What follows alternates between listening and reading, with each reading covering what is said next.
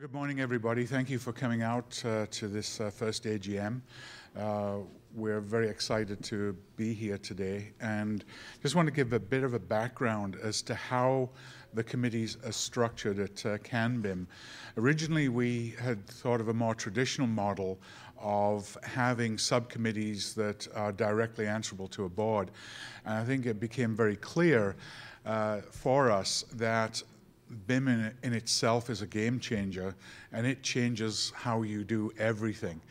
So, as a consequence, we have thought that um, it would be better to have a series of somewhat not necessarily independent but autonomous uh, committees that can meet freely and move forward with their own agenda at the same time always coming back to the core group. So rather than having an overall overarching group and then a series of subcommittees, these committees are structured in such a way that they, they are independent uh, from themselves, from the rest of the group, but still answerable to a board, which then drives the board to be more a policy-driven board than a ways and means board, which we think in the end is a better way to go.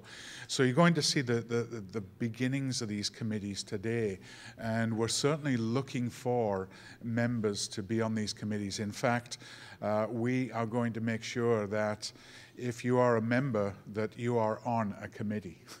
So if you're not on a committee, we're going to be asking why, but we really do want to make sure that everybody's in these. So basically, we have a, a series of uh, the committees. We've taken um, uh, the designers. Uh, and instead of having architects, we felt everybody who's involved in the act of design should be part of a designers committee. And that follows along the lines that we see, particularly with Building Smart Alliance, where we see the notion of uh, design, procurement, assembly, and operation, that lining more with that. So today I'm going to be able to present to you our, um, our report. So